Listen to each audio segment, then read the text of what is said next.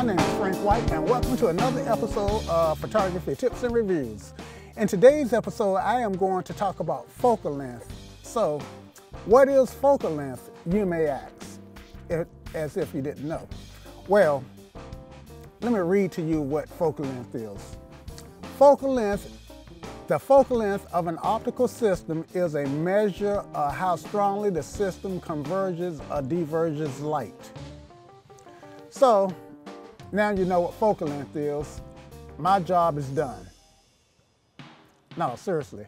Actually, focal length with respect to photography, well, that, that is the, the definition of focal length, but the way I, I would like to modify it is that focal length is, is an optical system, the focal length of an optical system is a measure of the distance of the lens um, of the lens to the plane, and the plane being the sensor.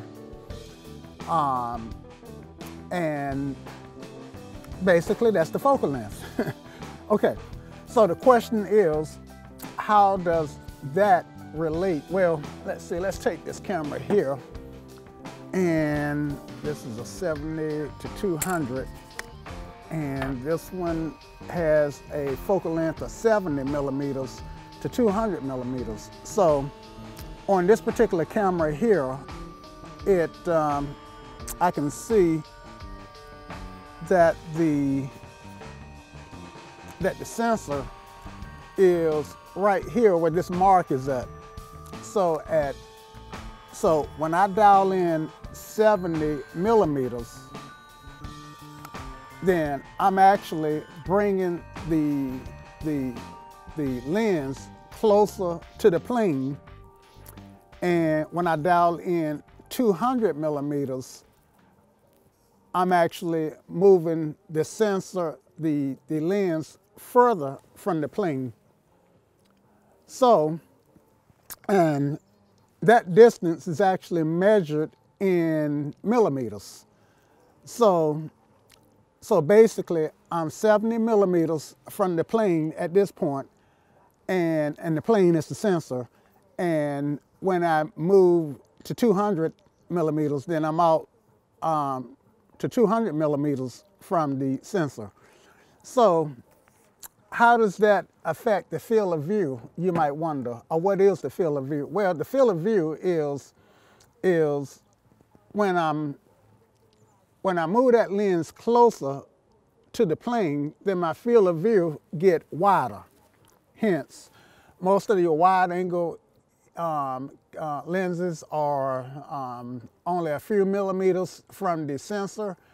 And when I move that sensor, when I move that, that lens further from the sensor, then my field of view get really narrow, hence a, a 200 millimeter or a 500 millimeter camera is the, the field of view is real narrow. In fact, um, since I'm on Wikipedia, let me see if I can't use their illustration here. And so I'm gonna turn this guy around.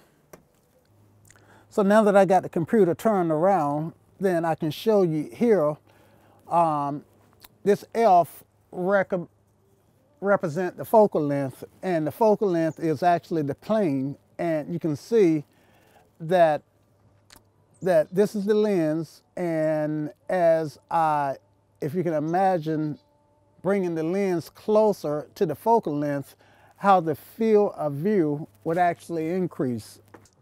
What I'm gonna do is I am actually gonna take some pictures at different focal lengths of the same subject to kind of give you an idea of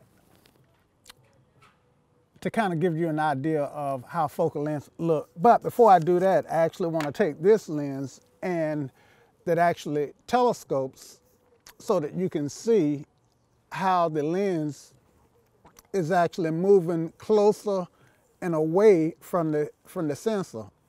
Okay? So that's this telephoto lens, I'm sorry, this zoom lens makes a real good example of, of how the focal length works. Now this lens here is a 24 to 70 millimeter. Now, the, the examples that I just gave you is actually an an oversimplification of focal length because the glass itself has a lot to do with um, with the focal length and how you know there's a lot that go into the making of a lens. Lens construction can really get complex um, and focusing light, you know, the, the, glass in the lens has a lot to do, uh, can affect the focal length also. Um, and then there's a lot of a lot of mathematical formulation that that that determines um, that go into the lens so that all the light get focused, whether the lens is convex, meaning that it's thicker in the middle, or concave, meaning that it's thicker on the edges. Uh, so a, con a convex lens would look like that, where a concave lens would look like this. Um, but that's beyond the scope of this video. Anyway, um, as you probably already know, that in general, a lens at 50 millimeter is considered pretty much normal, and that's where you can find the most inexpensive lens in terms of focal length. As the lens, as the focal length get longer or shorter, you probably have noticed that the lens get more expensive. And again, if it gets longer, the field of view gets narrower, and as it gets shorter, the field of view gets wider. Um, that all has to do with the focal length. But what we'll do at this point is we'll make some photos at different focal lengths and so that you can see for yourself um, what I'm talking about. What I'm focusing on is the church steeple and I'm at 24 millimeters. Now I am going to, to zoom in to 50 millimeters and this is what the church steeple looks like at 50, okay?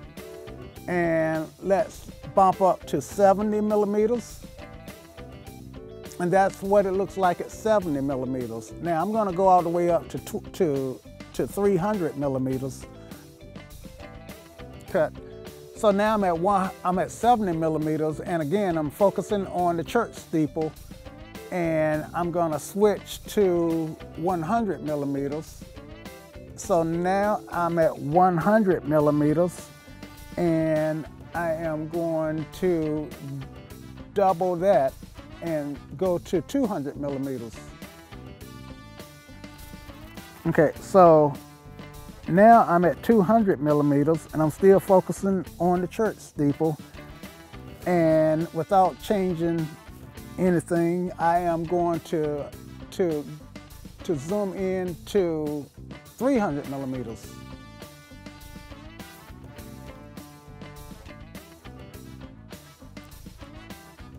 So you get to see the effect, and I'm just touching the back of the camera. That was the shape that you saw um, to make sure that I'm locking focus. And I'm actually gonna go to a manual focus here and make sure that I got that in really good focus. I think I like that better. So, and I'm gonna back all the way back down to 70 millimeters. And again, as I move to 70 millimeters, I'm actually moving that sensor closer. I'm sorry, I'm actually moving that lens closer to the sensor.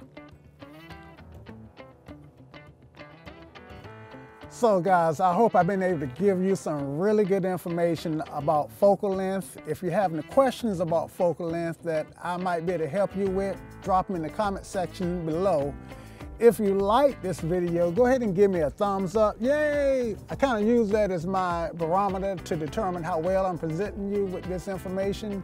And if you haven't subscribed yet, go ahead and hit that subscription button. Become a part of this community. And remember, guys, if you're going to shoot anybody today, shoot them with a Canon or a camera of your choice and keep shooting no matter what.